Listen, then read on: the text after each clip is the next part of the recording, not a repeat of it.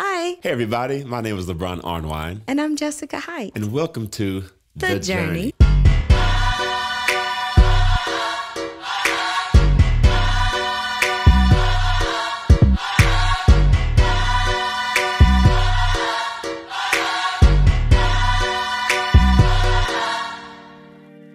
This week, we will be talking about a song called Faithful. This is from a record that we did in our very early days of working together doing music production. Uh, back when we used to do records, not singles. We live in a single driven market, even though I do believe We're records back. are coming back. And I like a compilation of work. You know that, I mean? And not even just digital.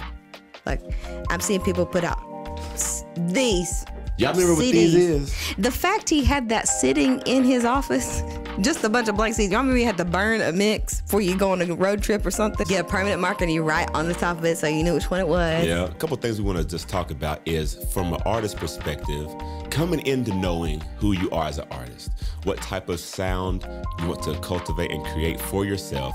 And it takes time to, you know, to get to get there. It, it just does. You know, you, you don't know who you are yet. And as you grow up and get older and mature, your sound might change, your voice changes, all of these things. So this is a song. Hey, I'll let you. i am talking about like I was No, I, I, mean you're doing good talking, so it's gonna keep on going. Yeah. I can talk. Uh, oh, that he can but, do. Please, but don't hurt. Don't let her talk. Uh. But I can too. I was going to add it. If you'll just give me a minute. Go ahead. Anyway, um, the first time I found LeBron and I was like, hey, let's do an album, I had no idea. Um, I was going, I actually started recording just because people told me, you need to record an album, you need to record a record. So I was just like, I guess that's the next step. You know, I didn't really listen to what I actually wanted to do or sound like or anything. And then I say it all the time. I know it's a, it's kind of awkward sometimes, but you know, being mixed, you kind of get pulled in two different directions of like, you should be in that CCM something something vein. No, you need to be at churchy gospel, like whatever. And I was like, what do I need to do? And they're like, well, you can do a run every now and then. Don't say nothing. He be hitting runs all the time. Test me right quick. Let's if I try to hit one. Go. Tell me a key you want me to be in.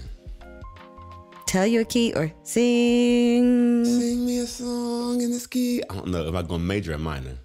Minor. Mm-hmm.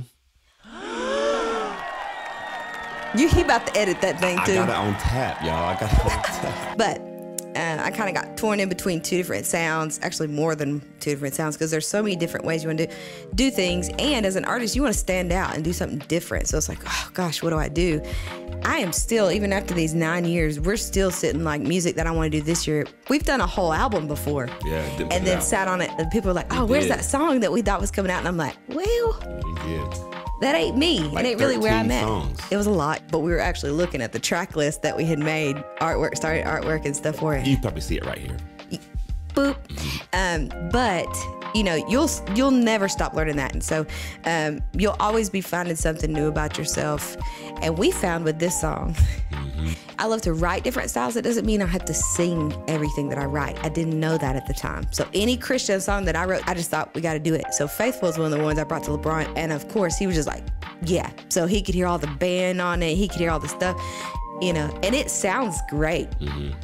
But now it's a demo mm-hmm. because that ain't me. I think we should a little bit of like the up that Josh does and so that stuff. I actually wrote this with Josh Lynch again. Uh, he was like my very first writing partner. What I love is that over the course of the time that we started working together, we realized the importance of the arrangements and the music that's coming into it. So um, while I find this, maybe you can talk to all those musicians that keep telling me that they don't write songs. Okay, I have a great story. I'm glad you even let me have a moment to talk. I'll make it short. So, growing up in church and stuff, we would take these songs that we would play all the time like if you were a church musician, especially in the black church, the song Fred Hammond song "Blessed" that is like the offering song of the ages. It will always be. It'll always be the offering song, and so we played it. So we would start to get creative on how can we make this song have new life to it, basically. So we would rearrange it. I didn't know at the time that is writing.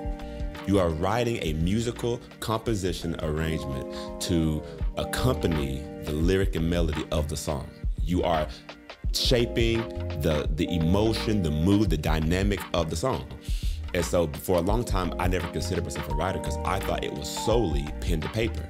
And even in the moment, you know, if you go back to our last episode of um, You Never Give Up, talk about all the ad libs, I didn't see that in my mind as writing. That was just something that was natural and that I did, you know. And so realizing that as a musician, the chords you play, whether you play piano, bass, acoustic, guitar, whatever it is, your your chordal structure has the potential to change the way a singer sings a word, the note choice they might use, all these things you have now contributed to the songwriter, and you are a songwriter. So if you think because I don't put pen to paper or write 13 verses of this song, I'm not a songwriter, yes, you are.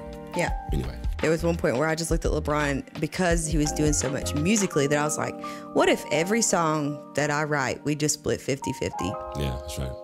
I. Every song. There's some songs where I changed the entire bridge of the song because he played something different. He's like, what about this? And it changed the whole thing. Anyway, we're going to play the voice memo of Josh Lynch Faithful. playing this for the first time for LeBron. I think actually you actually sang it that way on the recording, and then uh, I, I pitched it down to make it be that. You're right. Yeah. Hear my way, ways. And then I said, way. yeah, Josh is great, man.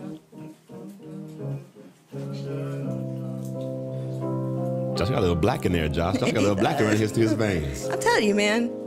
And you'd never guess it by looking at him. spite of everything I've been through. Those are LeBron snaps. They always on. I'm gonna sample him.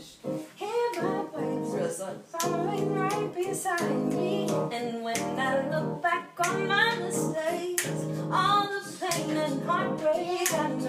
Is that you this beatboxing? He's always right You doing something. me. What's that? Probably. Constant, Unchanging, loyal. His precious blood is part of me. And all I can say is I am so glad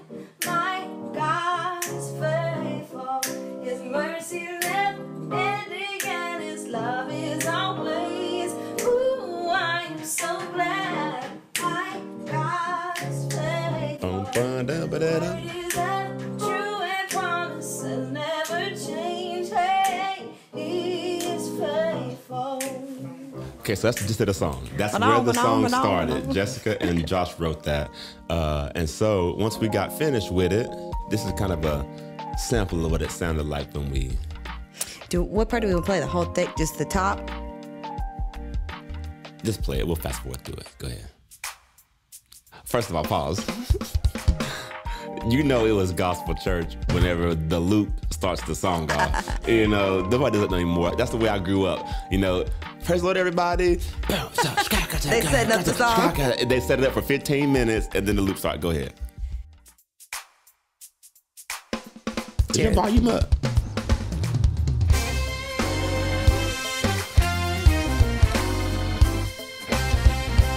You did good on this one. In spite of everything I've been through. Y'all don't even sound like me no more. Everything that I've crazy.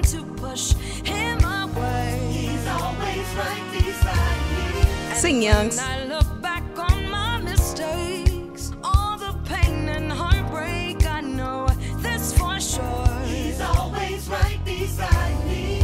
Constant, unchanging, loyal and true. His precious blood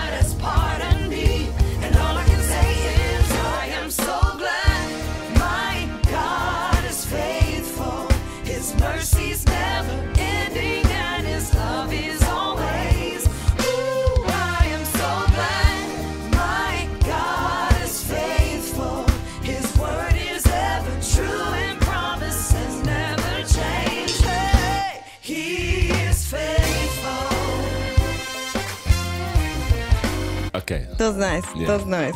Ooh, I am so glad. We changed that to somewhere. This one part, right?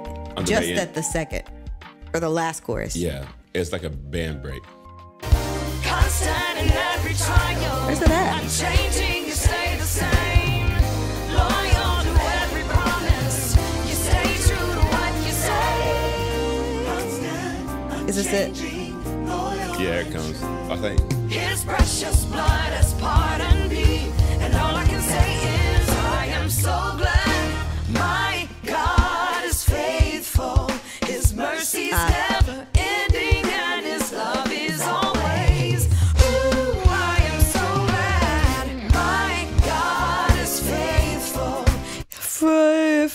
Had some videos. 'cause We, we did a live concert of some of these songs. Oh, yeah. And we got some videos of that too.